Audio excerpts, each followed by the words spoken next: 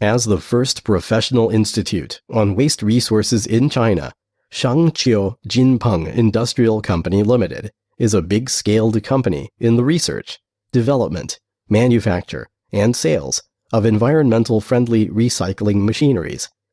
We have the ability, technology, experiences on recycling and utilization of black and white garbages, especially the waste tires, plastics, and used oil.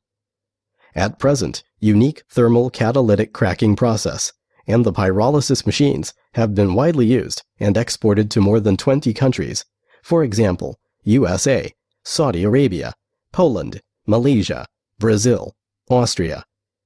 Nowadays, with our great efforts and years of research, we have successfully developed and manufactured continuous pyrolysis machines for waste tires and plastics.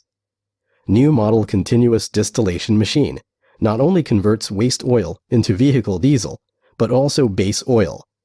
Besides, the infrared heating technology and the microwave technology are first innovation among the world, which thoroughly resolves the pollution problem on environment, completely achieve our goal. No emission at all during the operation. Meanwhile, we are good at reducing sulfur, removal of color and smell from product oil. At present, we have got 12 national patents issued by the State Intellectual Property Office. Advanced technology, long-term experiences, professional service. All of these make us provide professional and reasonable solutions to customers' needs.